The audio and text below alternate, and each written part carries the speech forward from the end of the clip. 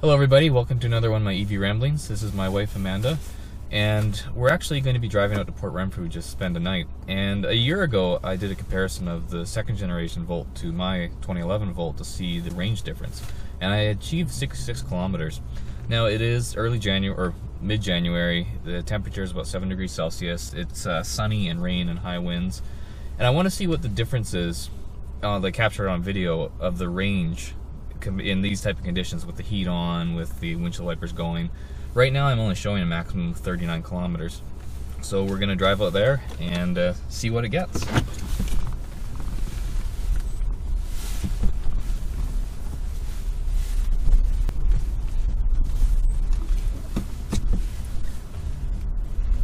So as I've explained on a few videos, I do mostly around this time of year just do really short trips, and I think that what contributed to the really low number displaying here. And this is just the 39 kilometers is just based on kind of your history, what you've done recently. So it, you can get way beyond that, or you can get a lot less depending on how you drive. I suspect though that we probably will get somewhere around 39, 40 kilometers. And I've also kind of uh, suspected that the car may be losing battery capacity. So once we've uh, once I finish this video and we've come back from our little trip to Port Renfrew, I'm going to plug the car into a little meter that I have and see how much energy it uses to charge, and that should give me a good indication if the battery has lost a lot of capacity because it should uh, hold at least 10 kilowatt hours. Well, this will be a long drive, so I'm going to take a few breaks and uh, be back soon.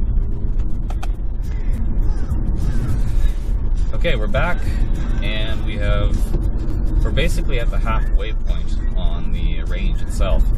When we left, it was showing at 39 kilometers being available, but uh, we've only driven 11.5, and now we're down to 20 kilometers of range. So obvious, already we're seeing a huge drop. And if we look at things like the climate, the climate's using about 31%. I do have the stereo on, that should be minimal as well. Uh, we did make one quick stop to a grocery store, and you know the cycling, turning the car on, off, and then on again, and obviously doing that heat again can reduce it a bit more.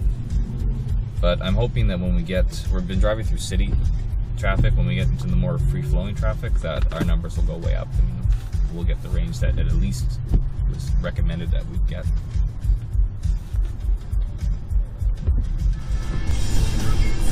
When the second gen Leaf um, becomes more available, mm-hmm. we should go take one for a test drive and let you drive it. I'd sure. like to record to see what you yeah. think of it compared. I'll, I'll notice things. Yeah, it's the exact same platform.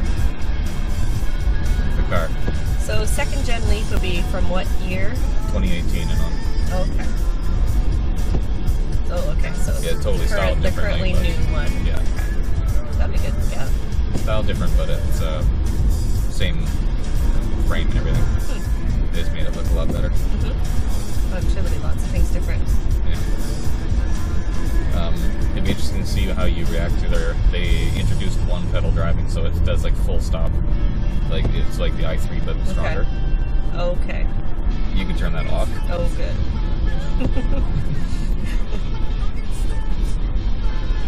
yeah.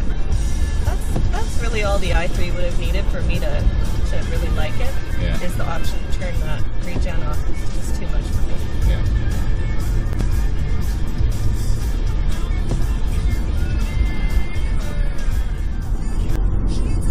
I do have concerns about the longevity of this car. Mm-hmm. It is the first generation. Yeah. Like it's, it's a new invention, basically. Yeah. We'll see. Like, I really like the car, but it would just suck if like the gas stuff starts Stop working. Starts. Yeah, screwing up. Yeah.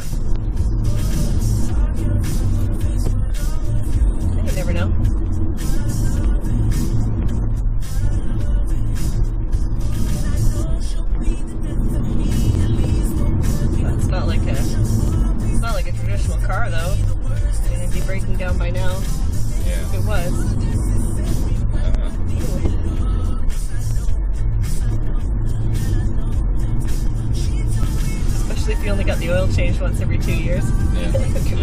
be breaking down. All right, so we got onto the really flowy part of the road, and we've seen our mileage go get considerably better. We've driven almost 29 kilometers, and we have 11 listed. So if we were able to get that, that put us at about 40 kilometers right now, which would be above the estimated range you gave us, which is good. So that just goes to show you the type of driving you're doing is crucial in like how far you get with the electric vehicle but still really shy of what we were getting in like the late summertime when we got 66 kilometers. And you've had it in D this whole time, not L? Yeah, I've had, it, I, have had it in drive for the most part, mostly because L makes your stomach upset. But but I have used L a little bit. But I find whenever I'm driving on this particular stretch, and that's where we get our most economy, I always have it in drive uh, just because it's I don't want to slow down. I want to use mm-hmm. momentum, and we're mostly going downhill. Mm-hmm. I can handle it in L if we're going straight on along a smooth right. road. Just in town, if you have it in L, just uh, makes me nauseous. but no, if we're going down hills and it's just smooth, that's fine. Yeah.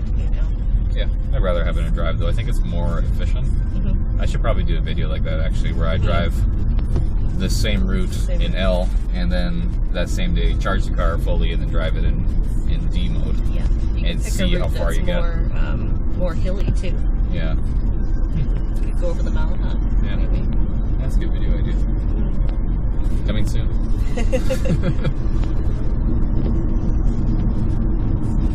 yeah, you'd have to pick a day or a time where there's not a lot of traffic though to get a consistent result.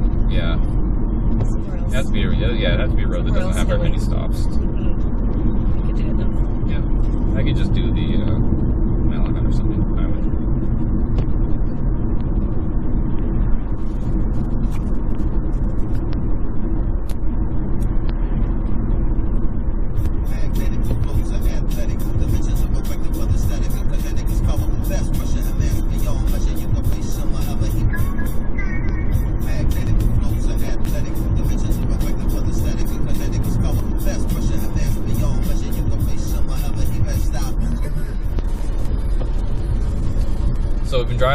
More, and we're down to our last bar of energy showing on my display here. We have three kilometers now, just dropped to three, and we have driven 37.4. So, yeah, like we're on basically just over what it said we could get, which is pretty good. Uh, now, this car from the factory was listed as supposed to get 35 miles which I'm not entirely sure what that is. So I'm, I'm going to just change it here. I'll look it up. Oh, I'm changing it. it. Yeah. That's for all my American viewers. So we've gone 23.6 miles, um, and with two miles remaining. So that is significantly less than the 35 miles that was that the car was sold at under. But once again, we are colder temperature. We've had the climate control on the entire time. The Windshield wipers have been going. So it's something that I would expect to see. Switch it back to metric, because that's what I like. road signs are marked in? Yep. Oh, there's no cell signal here. Yeah, it's pretty spotty oh, out here. Oh, there it is.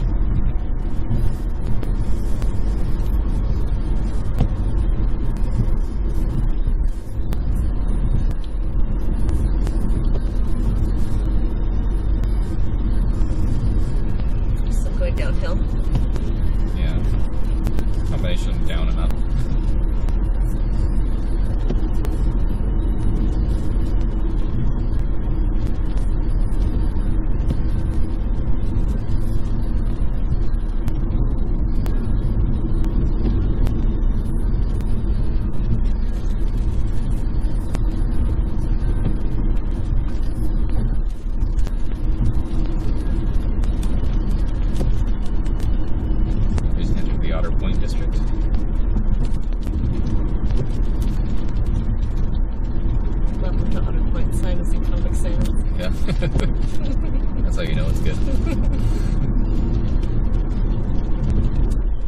okay, we're at almost 40 kilometers with two kilometers remaining. I'm trying to squeeze out as much as I can.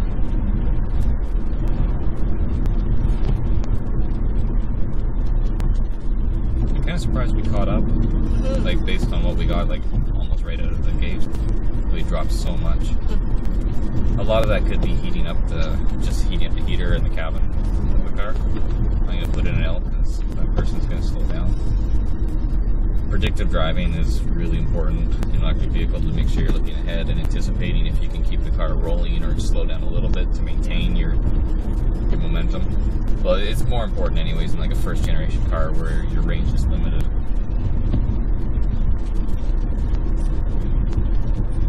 That sort of driving can benefit gas cars too, is that right? Oh, absolutely, yeah. Yeah, it's called uh, hypermiling, I think, mm-hmm. Where you yeah you try to just develop those techniques where you uh, you absolutely try not to stop, like just keep momentum going. Mm-hmm. Stopping and starting is like your hardest thing with the vehicle, just getting that momentum back up see big trucks doing that too. Mm-hmm. rolling stops at lights. Yeah. And I think it's also easier on the like brakes and things like that, just to like over a longer period of time and less pressure. Mm-hmm. Okay, one kilometer, we have a 1.3 4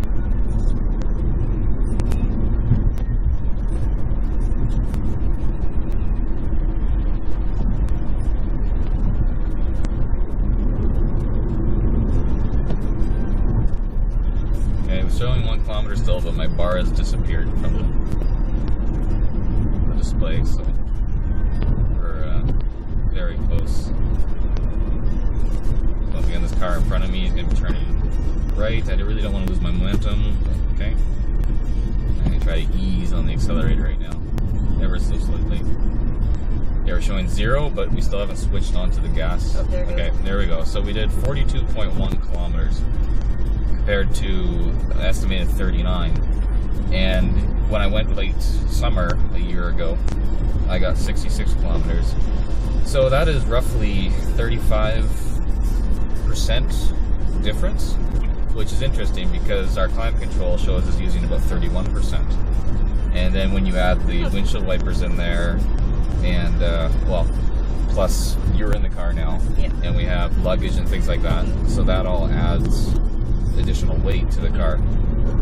Plus, my my gas tank is mostly full, three quarters full, where I think it was a lot lower yeah. when I did the trip before, and so that's additional weight. So I'm actually kind of surprised. I think like that's I didn't know how accurate that was mm-hmm. that percentage, it's but I think the math works accurate, out. Yeah. Yeah. So yeah, so I guess like if we were if this was freezing temperatures or below freezing, uh, we would obviously see a much bigger uh, reduction. And if I put this in like comfort mode, I can get up to like 50 or 60% of my battery usage just for heat. And heat is a lot more energy expensive than air conditioning, so you don't see this kind of loss in the summer when you have the AC on. So when you did this trip in the summer video, mm-hmm. did you have the air conditioning on or no? No, I just had, it, off had it, off entirely. Just to get a baseline. Yeah, and that's I did that with the second gen Volt too, and I actually I found I had to open the windows a couple times because mm-hmm. I got too hot. Yeah. Uh, but I I was concerned with the windows opening with having yeah. the, the drag. All right, well that's that's basically what this video is. It was comparison. So thanks for watching. Please subscribe if you like what you see. And thanks, thanks Amanda. I and, subscribe. and I'm gonna I'm gonna try to get you in more of my videos. Specifically, I would also like to have you drive the Leaf. Yeah. And I could be a passenger in it, and I don't know, take note of a few things. The Leaf that you've seen Dustin driving is my daily driver. Mm-hmm. Yeah, and it does it very well. Yeah. Yeah, and I'm gonna well, lots more videos to come. I'm gonna be trying to do the well, I said monthly updates before. I might try to make it bi-weekly or weekly. We'll see. And if you have any questions, ask them. I'll address them in my uh, those videos that I'm going to do, those update videos. So thanks again. Take it easy. Bye.